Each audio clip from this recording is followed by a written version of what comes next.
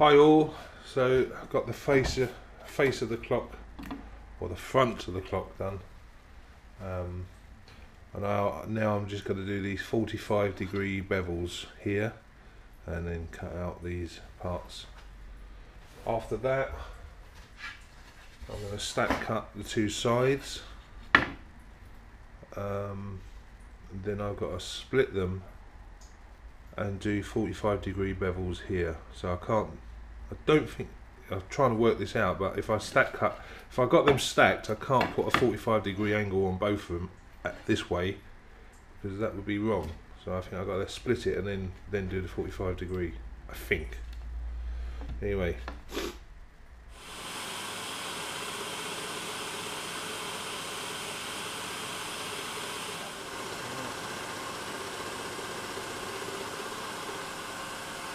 Wow. Yeah, I couldn't go up that way to uh, finish the cut quickly. I had to go all the way through because uh, the throat of this um, saw is not long enough. It's only um, 18 or whatever it is. Whew, boy. So let me just move this back.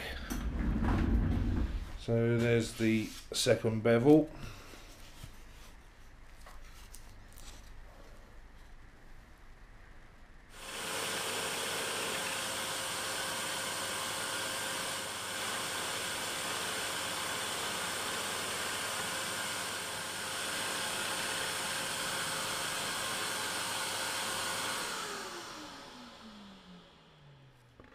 Okay, so that's the roof. Yep, pretty happy with all that. Still needs to be sanded and uh, fitted. I've noticed, which is a good thing, for example, that is the bottom plate. And I've noticed this with all of them. Is that, yeah, that's the bottom plate there. That is the fitting for that. And all these I've cut on the line, but they're still too small. But um, that's pretty good because it's horrible when they're too big. So um, I've just got to, um, yeah, kind of open those holes up a fraction. It's probably a blade width, um, and so that will be all in the um, the gluing up stage, the finishing stage. But yeah, pretty happy with that. I've I marked the centre before taking the paper off that is where the the clock mechanism will come through. Whether I have one that's stuck on the back or I take a big hole out and put a fascia in I don't know yet. Like I said in the uh, on the forum on the uh, post I might I might just go a little bit because this is only for the uh, shed I might go a little bit um, quirky and put in a um, a digital face.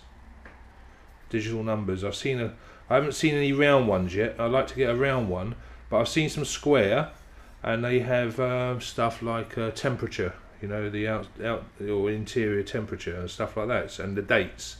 So it's like I said in the uh, post, it's um, an old clock with a new, new, um, new parts. Well, it is an it's a new, new part clock. I don't know what I'm talking about actually, but anyway, there you go.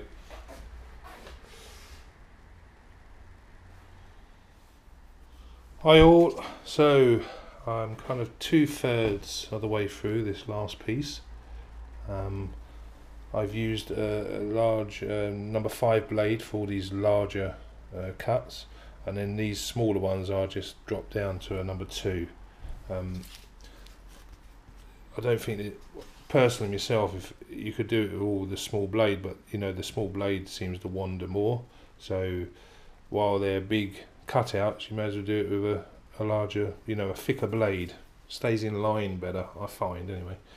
Um, I wanted to point out a little mistake on the drilling earlier with this pattern.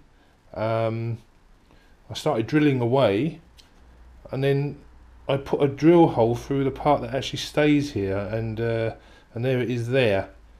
Um, I actually marked it on the back so I didn't actually kind of cut anything out. But anyway, um, I kind of noticed it before I did the, this other one as well, and this one.